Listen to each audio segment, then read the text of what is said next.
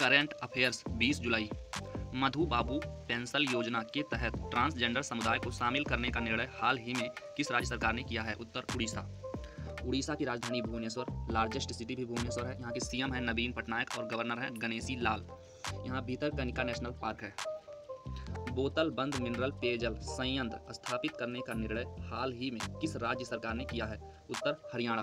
हरियाणा की राजधानी Chandigarh. CM Manohar Lal Khattar, governor Satyadev Narayan Arya, यहाँ का नेशनल पार्क है कालेसर नेशनल पार्क। हाल ही में किस राज्य को सात सौ पंचानवे करोड़ रुपए की मंजूरी नाबार्ड ने दी है? उत्तर पश्चिम बंगाल। पश्चिम बंगाल की राजधानी कोलकाता। सीएम ममता बनर्जी, गवर्नर जगदीप धानकर यहाँ का प्रसिद्ध नेशनल पार्क है न्योरा वैली नेशनल पार्क। हल्दी अनुसंधान संस्थान हाल ही में किस राज्य में स्थापित किया गया है? उत्तर तमिलनाडु।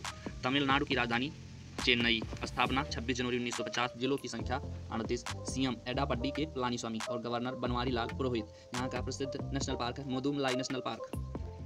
सीबीएसई ने अपने पाठ्यक्रम में कृत्रिम बुद्धिमत्ता के लिए किसके साथ समझौता किया है? उत्तर IBM global manufacturing risk index हाल ही में जारी हुआ है। इस इंडेक्स में कौन शीर्ष पर रहा है? चीन। चीन की राजधानी बीजिंग तथा प्रेसिडेंट जी जिनपिंग। टिफ ने 2020 में अपने ब्रांड एम्बेसडर के रूप में चुना है उत्तर प्रियंका चोपड़ा को।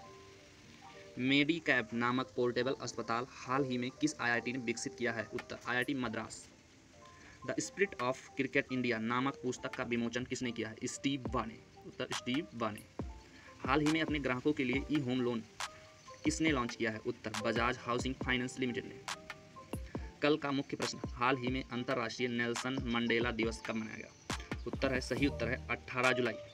आज का मुख्य प्रश्न, राष्ट्रपति रामनाथ कोविंद के निजी सचिव के रूप में हाल ही में किसे नियुक्त किया गया है?